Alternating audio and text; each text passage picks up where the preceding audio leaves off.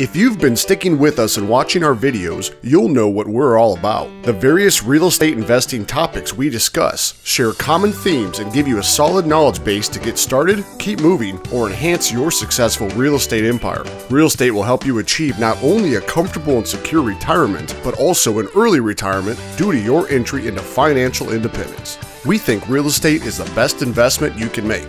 Don't just take it from us.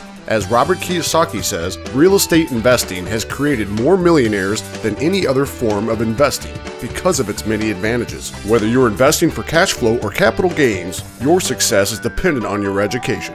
There are many more reasons why real estate is great, and there are a total of five ideal ones that stick out in our minds. There's one for each letter of the word, and this is the first in a series of videos called the Ideal Investment Series. Income, the road to cash flow covered here. Depreciation, less to Uncle Sam, more to your pocket. Equity, take more ownership. Appreciation, let your ownership grow. Leverage, carefully control a lot with a little. So, what is it about real estate that works so well? You have friends who are buying up properties to hold or flip, and perhaps they have started leaving the proverbial rat race behind.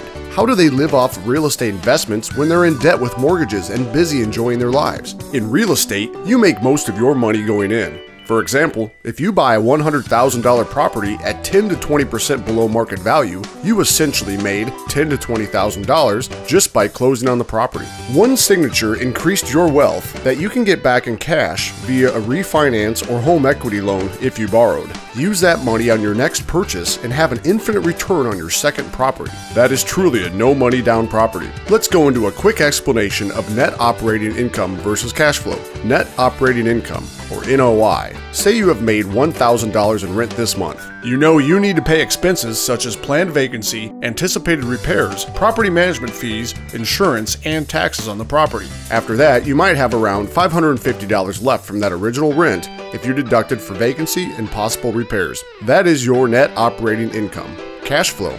Take your net operating income and subtract your external monthly expenses, such as debt repayment, i.e., your mortgage you can calculate your cash flow before or after taxes. All that mortgage interest you are paying is also going to be tax deductible, lowering your tax responsibility even further. So now that you are well versed in NOI and cash flow, you understand that income is a very important and useful advantage of real estate investing. You will have the ability to pull cash from your investment month after month without having to actually sell the asset to earn that income. This extra cash could be saved for reinvestment, supplement your lifestyle, or maybe even allow you to quit your day job.